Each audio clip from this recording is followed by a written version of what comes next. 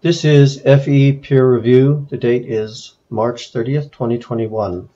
The video in review is Naturalism of the Gaps, Dishonesty in Practice. My thanks to Rusty Walker for his own review of Paul Ross's video, which brought it to my attention. A link to Rusty's video is in the description as well as a link to Paul Ross's. Paul Ross's message is weakened even undermined due to certain inadequacies in his presentation. One, failure to define terms. Two, simplistic and generalized references to science and scientists. Three, failure to understand the limits and purposes of the sciences. And four, failure to discuss the roles of faith and evidence in religion and science.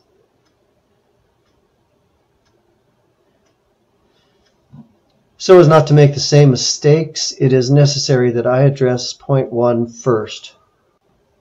Definition of God. The word is central to the discussion, but never openly confronted.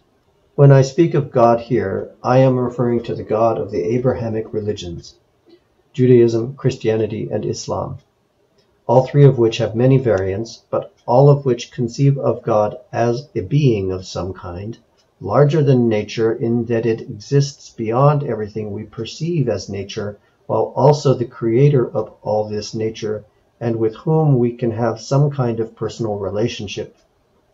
I believe theologians of all those religious faiths would agree that humans are not capable of a complete understanding of this God, but that we are capable, nonetheless, of having a real conscious relationship and communication with this God, either in this life or the afterlife. This is the God I refer to in the discussion.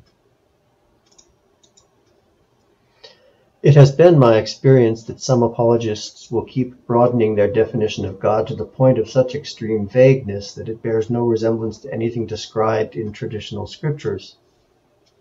when someone starts waving his hands in the air and saying things like God is what was before there was something, or God is love, there's little left to talk about on the subject.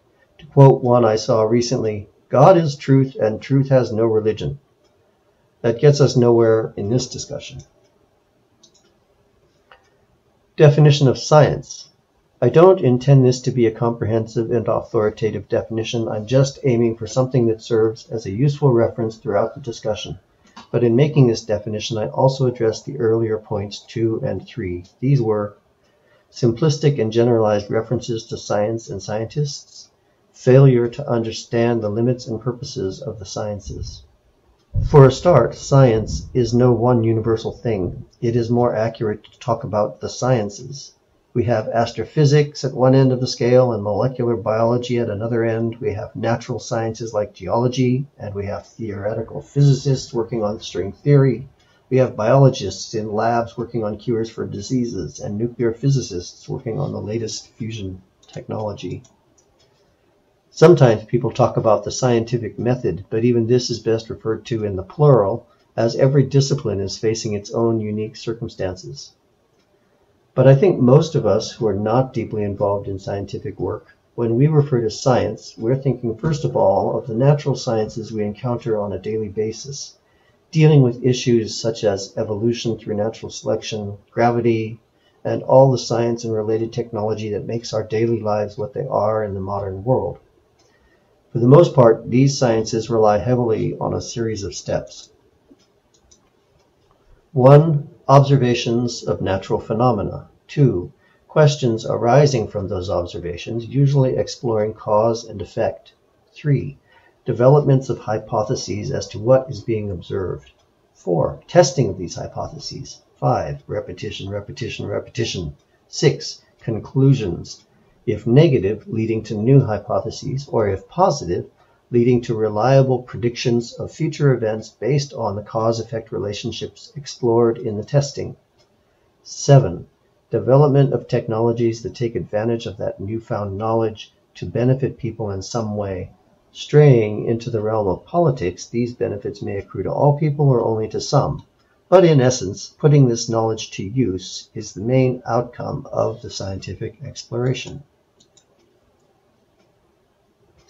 These are somewhat rough but useful definitions I use in the further discussion.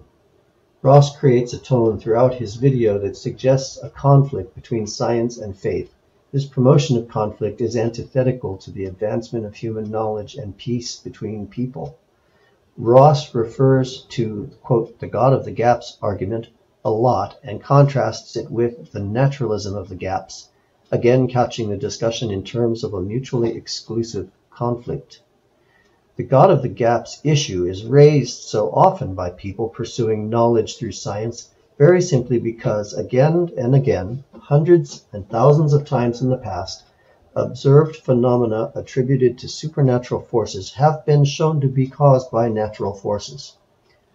Science doesn't deal in 100% absolute proofs. It deals in evidence and probability. When something happens consistently 10, 100, 1,000 times, it eventually gets accepted as probably correct. Ross goes on, they assume the truth of naturalism in advance. When natural causes are seen again and again to be responsible for observed phenomena, then it is a reasonable starting point to temporarily assume that there is a natural explanation for the observed phenomenon and to pursue scientific investigation. If, indeed, a natural cause is then found and has strong evidence, that validates the temporary starting assumption. That assumption can confidently be considered correct. Future evidence may challenge it, but until that time it is accepted.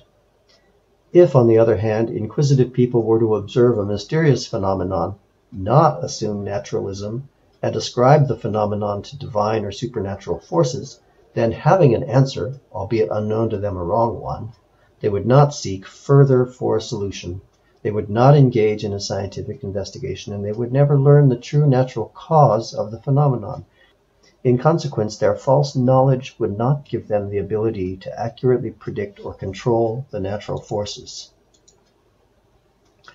When one approach gives a solution that enables accurate predictions and the ability to exert control over natural forces, and the other approach does not, some people may conclude that the former approach is not only the more useful, but also the more correct in its understanding of nature.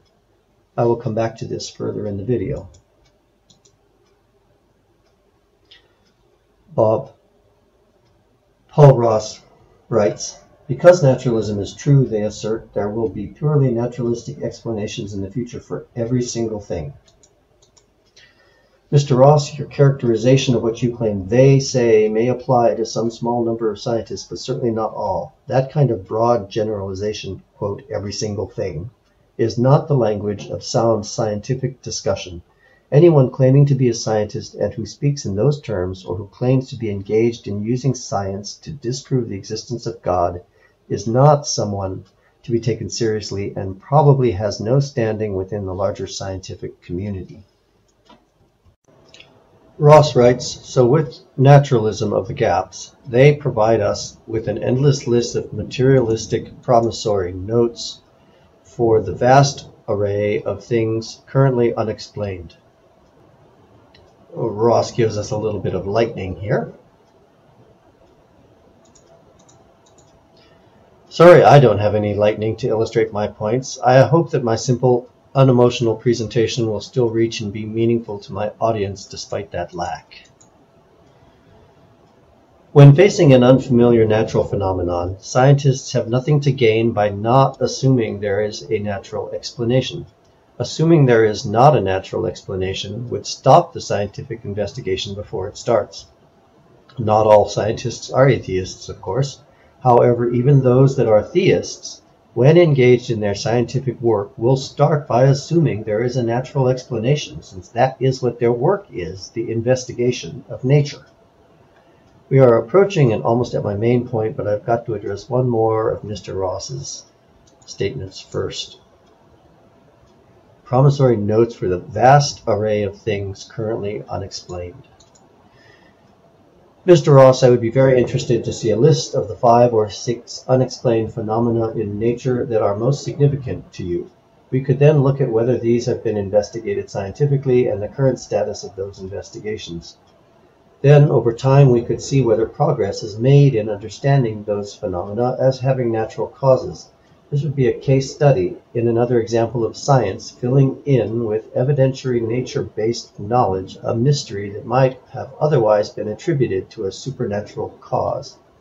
Are you interested?